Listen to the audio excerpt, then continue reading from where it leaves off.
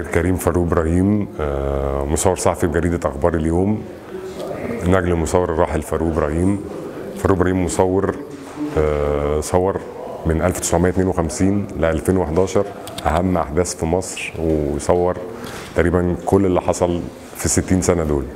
آه، المشاركة في مهرجان القاهرة للصورة الفكرة جت من مروة أبو ليلى دي صاحبة مدرسة فوتوبيا هي كانت عاملة السنة دي العودة إلى الأصل أو آه، إن إحنا back to raw فعجبني جدا الشغل بتاع الشباب اللي داخلين المعرض فحبيت إن أنا أشاركهم بجزء صغير من أرشيف فاروق إبراهيم.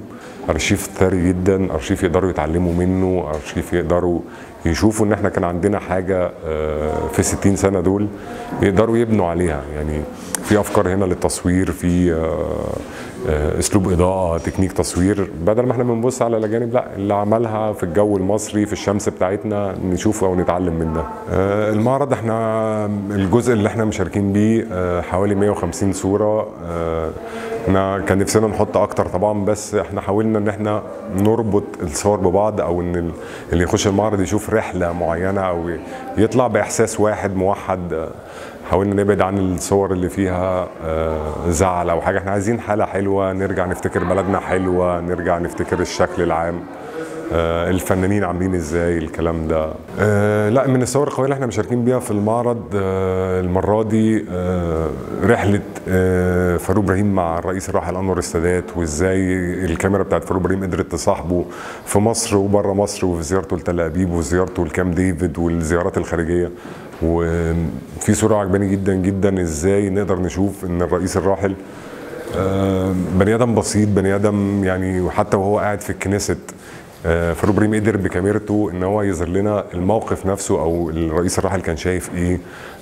شفناها بطريقة ما اتصورتش أو حتى الكاميرات ما جابتهاش. فنظرة مختلفة على تاريخ بلد. آه، صور كتير للعظيمة نادية لطفي اللي كانت قريبة جدا جدا جدا لكاميرا فاروق إبراهيم كان بيحب جدا جدا يصورها. آه، كانت تحب التصوير جدا كانت بتعمل مجهود رهيب علشان الصورة. الفنانة العظيمة نجوى فؤاد وثقتها الكبيرة في فاروق إبراهيم إن هو تقريبا صورها أي حاجة فكرة جديدة عايز يجربها. كان على طول أول حد متطوع كانت بتبقى الجميلة نادية نجوى فؤاد. آه، رحلة طويلة كان صاحب فيها عبد الحليم حافظ ام كلثوم نجيب محفوظ كتاب أدباء علماء. يعني كل حاجة تقريبا. آه، الصداقه الشخصيه لوالدي كانت أقرب واحد ليه كان عبد الحليم حافظ طبعا كان صاحبه جدا كفكرة صديق. يعني في أوقات ما كانش من كتر ما هم أصحاب بينسى إن هو مصور أو بينسى يصور الحدث ده.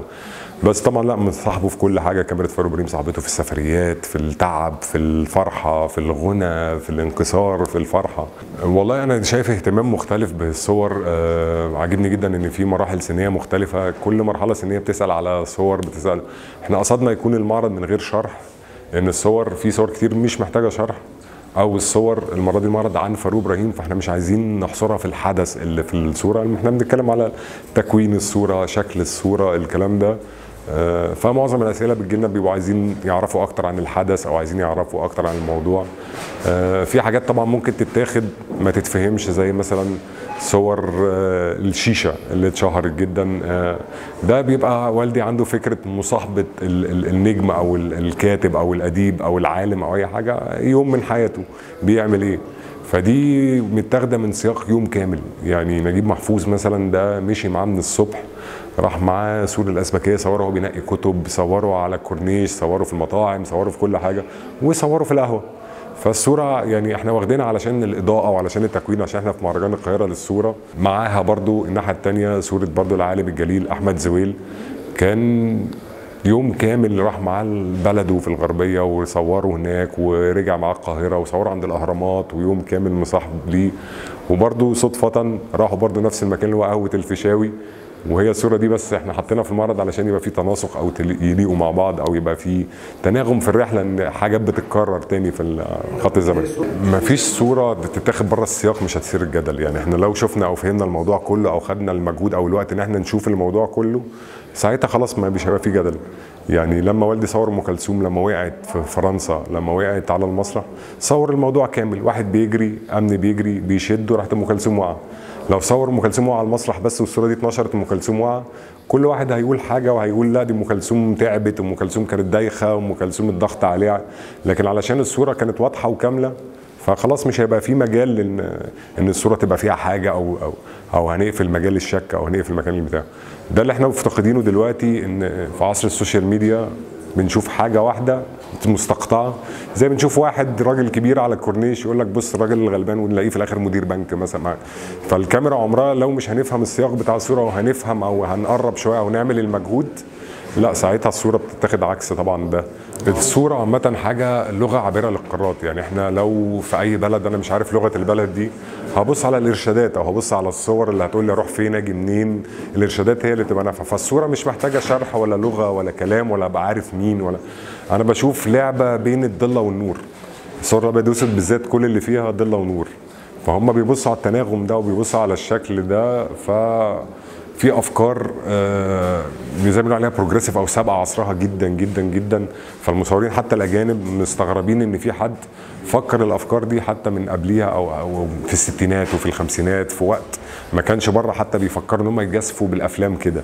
رحلة طويلة جدا جدا جدا آه اختتامها آه للأسف لسه متشوق للتصوير.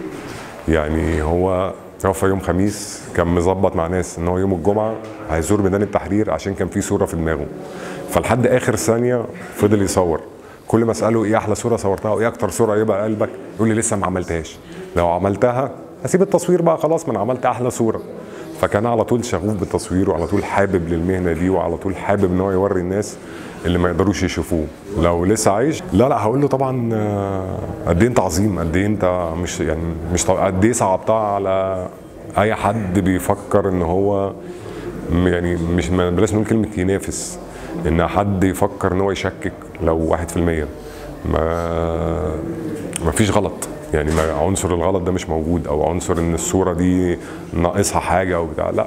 يعني كموضوع رحلة طويلة.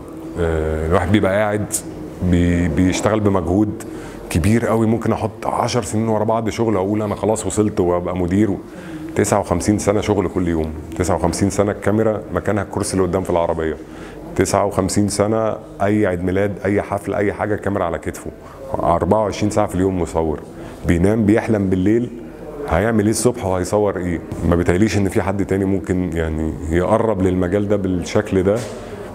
متفائل جدا جدا جدا بالشباب المصاحبة ليا في المهرجان. عاملين حاجات بجد جميلة بس لازم يجربوا لازم يجوا يشوفوا فاروق إبراهيم عمل إيه علشان يعرفوا إن مفيش ال ال ال القوانين بتاعت التصوير أو مفيش حاجة لأ ده مجال فن إبداع آه تخطى كل الممكن.